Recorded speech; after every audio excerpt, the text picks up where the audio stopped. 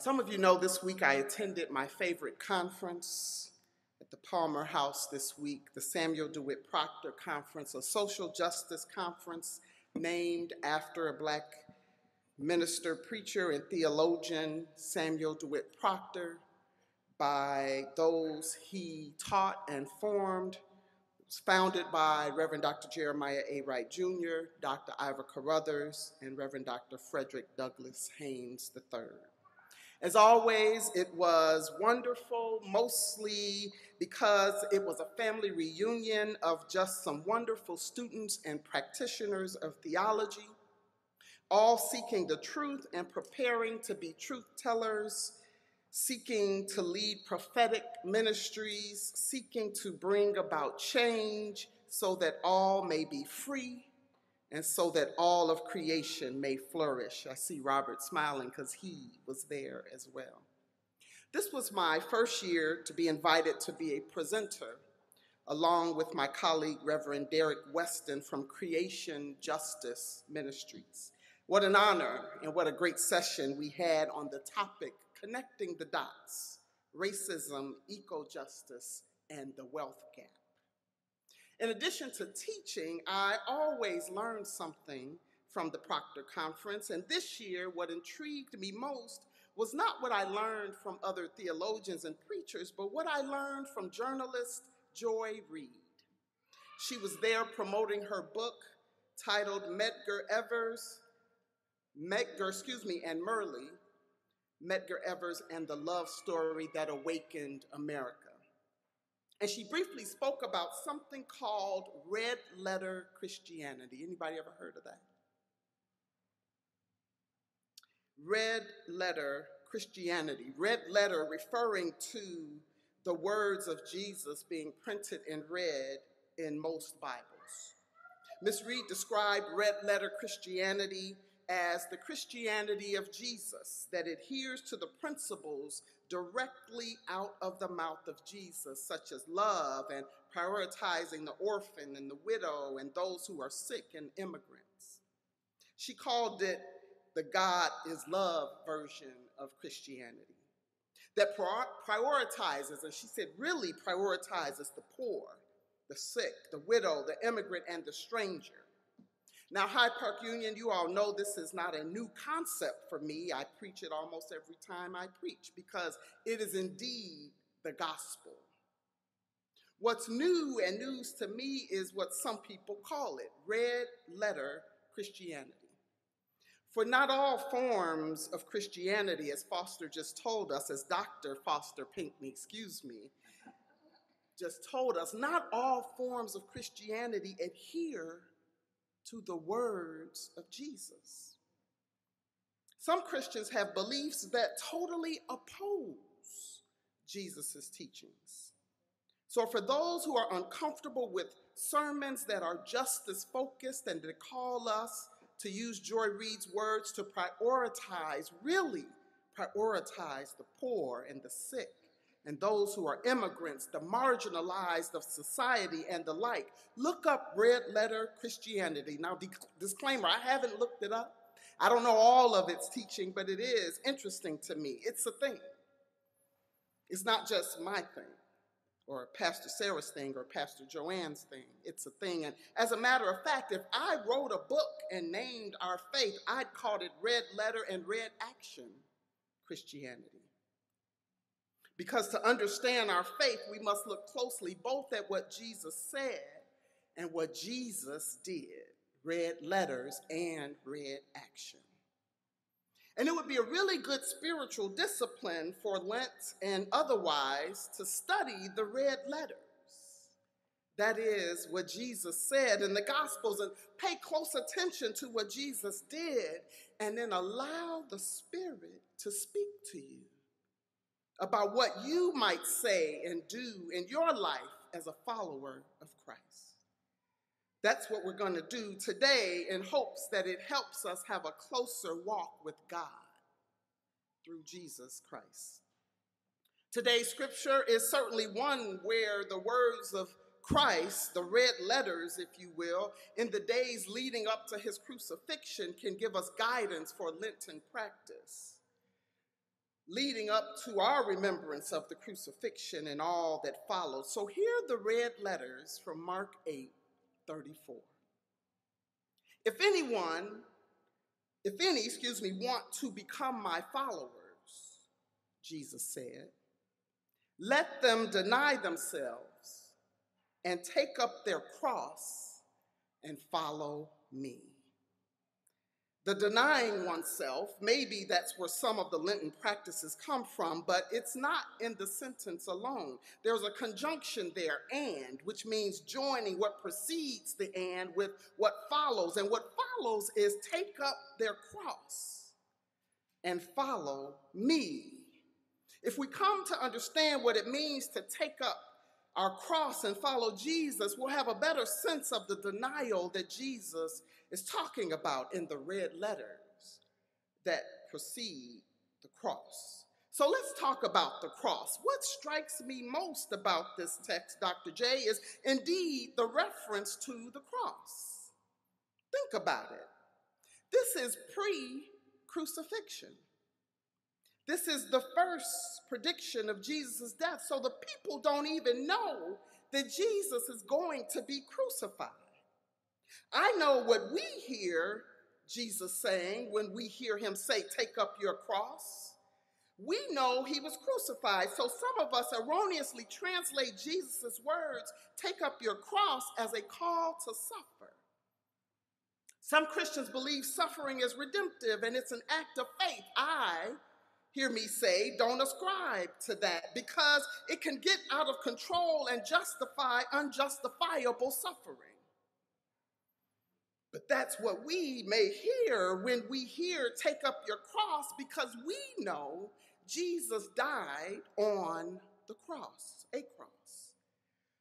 But what does Jesus' audience hear that day?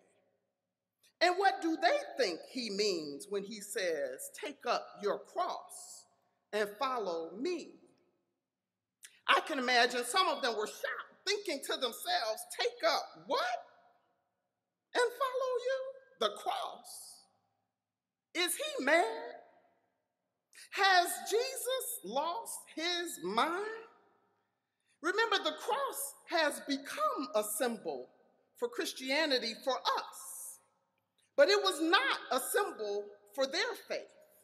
For them, the cross was an execution apparatus. So I am positive that many of them were thinking, why would I take up an execution apparatus? Jesus is indeed asking them to take up an execution apparatus. Why would he do that? It might help to understand this execution apparatus. And here I want to give a shout out to Sean Jr once again, who nailed it, no pun intended, during confirmation class. When I asked the students what they knew about crucifixion, Sean Jr. said something close to this Crucifixion was a form of capital punishment to publicly disgrace the person being crucified so that those watching the execution would be afraid to do what the person hanging on the cross did. Amen. And somebody say, Thank God for Sean Jr. And for those who have taught him and he so eloquently explained crucifixion. So the cross, as Jesus uses it in this statement before his crucifixion, is not a faith symbol to his audience. It's a symbol of execution by the Roman authorities. It's a symbol of doing something that might lead to your crucifixion.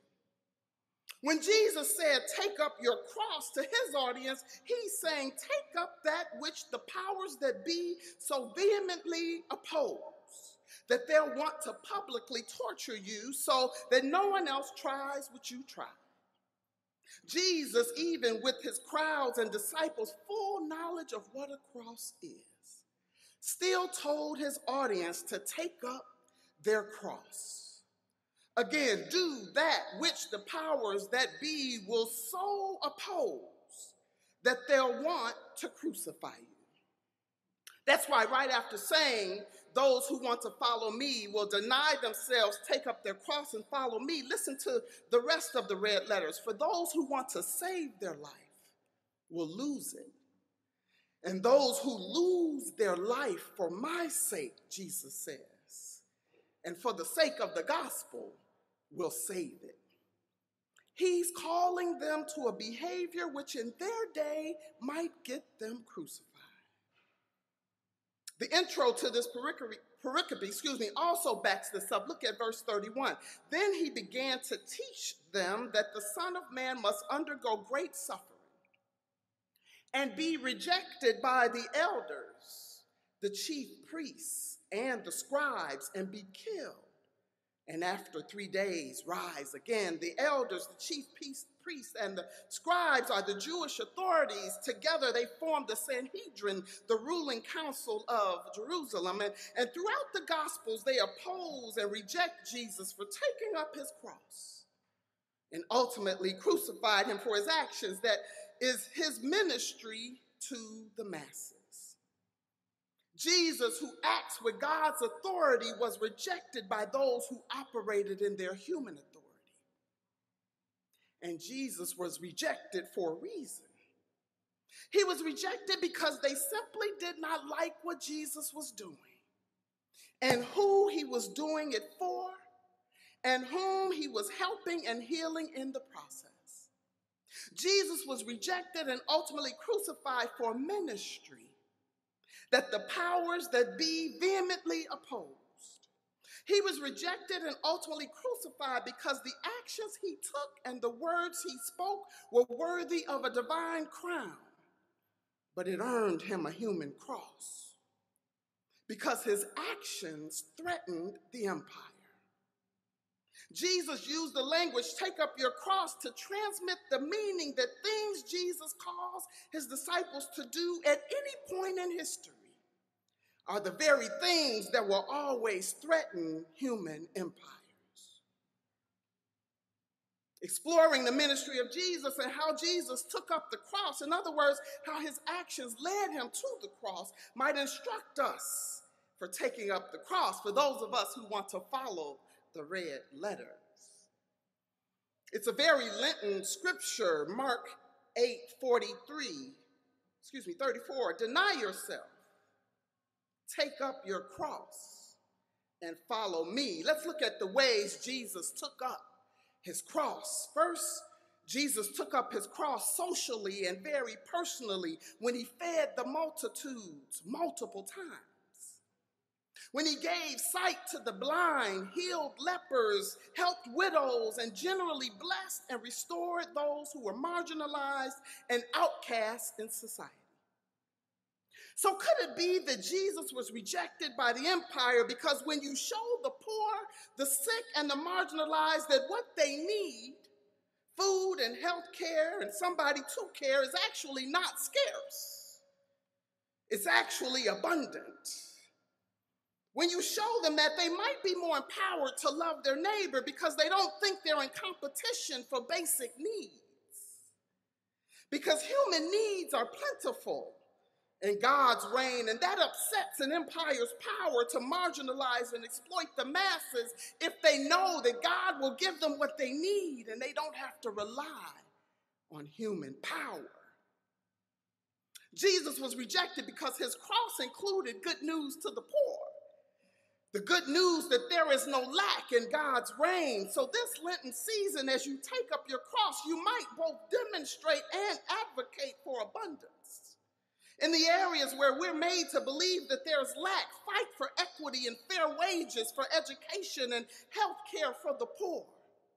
Address food scarcity in these United States of America, housing insecurity, expose and address the wealth gap. Take up your cross of ensuring people's basic needs are met. Take up the cross socially in ways that impact people's lives. Jesus took up his cross socially and personally, but he also took up his cross culturally. Say culturally. He did that which was culturally unacceptable. Like when he spoke to the woman at the well, the Samaritan woman at the well, when he culturally wasn't supposed to. It's stated right there in John 4 9 that Jews and Samaritans did not associate with one another. Think about those our society has told us not to associate with. But Jesus broke cultural norms and spoke to her, told her about her life, and had compassion on her, offering her living water. As a result, she went from being condemned by her culture for so many marriages, that's another sermon for another day, to being an evangelist who said, Come and see a man who told me everything I've done. Could this man be the Christ? And she went and got more Samaritans. And could it be that Jesus was rejected because he broke cultural barriers, gender bias, and freed people from the guilt of their past? And when people are not culturally isolated and don't operate in gender bias, but they love diverse communities, and when people are free from guilt from the past, they are more likely to love their neighbor as themselves and therefore are not vulnerable to the fear mongering of political parties who like to keep people separate but not equal. Jesus was rejected for culturally setting people free from the powers that be, for setting the oppressed free, and that directly threatens the empire who feed off people's fear of difference. So take up your cross this season and beyond and break a cultural barrier. Talk to someone society has told you not to talk to. Get to intimately know someone who looks different, acts different, smells different, and sounds different from you. Jesus says those who will lose their life will save it. In other words, your life will be blessed when you embrace difference, the very difference that the powers that be don't want us to embrace. This Lenten season and beyond, save your life get to know someone society has said stay away from. And I am sure you'll be pleasantly surprised, as was the woman at the well. Jesus took up his cross socially, personally, and culturally, but he also took up his cross spiritually. When he set free people with demon possession. I didn't make up this Bible. This Bible was, was, was given and put together for us. And it's in there throughout the Gospels. Jesus encountered those possessed by demons and stopped evil in its tracks, stopping them from harming themselves and others. And could it be that Jesus was rejected because when you free people from demon possession, you free them from evil? For when they are demon possessed, they don't know what they're doing. That's one of the seven last words. But when they are freed from evil, they too can love themselves and love others. And could it be that Jesus was rejected by the empire because when you exorcise evil, you greatly hinder that which fuels the empire itself? Some of us encounter evil on a daily basis. And as a Lenten practice, we need to pray for those who are operating in evil. We need to commit them to prayer. We need to ask God how and whether to engage them. Sometimes you've got to protect yourself from evil. And when we and we need to recognize what Paul called spiritual wickedness in high places and do the work to prevent such wickedness from gaining power. A good Lenten practice here would actually be voter registration. Need I say more? Lastly, Jesus carried his cross religiously. Say religiously. By forgiving people of their sins and demonstrating the highest law of love, and by healing on the Sabbath, breaking a primary religious law of the day. And could it be that Jesus was rejected because when people aren't downtrodden by guilt of sin, feeling like they've let God down because they couldn't keep the hundreds of commandments and not even the main ten, When they're free from that guilt, then they are free to keep the greatest commandment to love the Lord your God and love your neighbor as yourself, for love covers a multitude of sins. And when people are not burdened by guilt, they are free to love. And when people are loved, they are healed. And when and then there is less trauma in the world, and people can become all that God has created them to be. Jesus was rejected because the powers that be did not want him freeing people from the law. Because if they were free from the law, those experts of the law would be out of a job. Jesus was rejected for a reason. Jesus came to demonstrate and usher in the reign of God. His mission was to start a movement that was antithetical to the reign of man and evil, a movement towards the reign of God, for God is love and God is just. To do so, he set people free from that which made them so reliant on human authorities. He demonstrated abundance, abundant healing, abundant food. Remember, he fed the, the multitudes and they still were able to pick up 12 baskets. Abundant liberation, freedom from oppression and guilt and evil, and freedom from fear of difference. Jesus offered freedom. And the authorities were threatened. They did not want people free. They did not want people knowing that all they needed was actually in abundance. They did not want people engaging and certainly not loving those who were different. They wanted to keep people separate. They did not want to free people from the law. So Jesus took up his cross they ultimately put him on a cross, but he had already told his disciples to take up your cross. Do that which the powers that be don't want us doing, and that's the same message he has for us today. So if you're looking for a way to take up your cross and follow Jesus, find a way to empower the disempowered. Look for ways to make plentiful that which the government and capitalists would like us to believe is scarce. Don't only pray for the poor, but advocate for policies that eradicate poverty. Befriend someone you've been told to stay away from. Break down invisible barriers. Recognize evil when you see it. And pray and vote. Pick up a cross. Pick up what? Yes, the red letters today say deny yourself, which now seems to mean take a risk Get out your comfort zone. Do something counter to the norm which has been shaped by empire and do something for someone other than yourself. Take up your cross and follow me. Take up your cross might just help us help others experience God.